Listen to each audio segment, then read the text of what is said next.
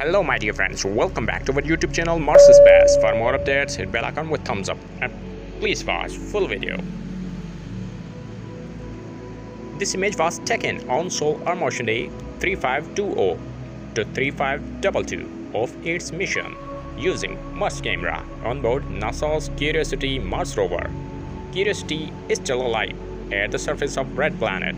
It's the first rover on the Red Planet, which spent a long time on the dead planet and capturing new areas. Here, discovered a mysterious structure. Let's watch in close up. What is it?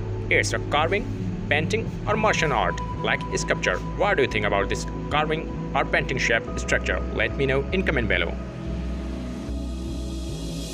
NASA's Mars Perseverance rover acquired these images at the surface of Red Planet using its onboard left navigation camera. Photos captured on 3rd July 2022. Sol or Martian Day 486. If you like my video, hit thumbs up and don't forget to share to your friends. Stay connected with us. Thanks for watching.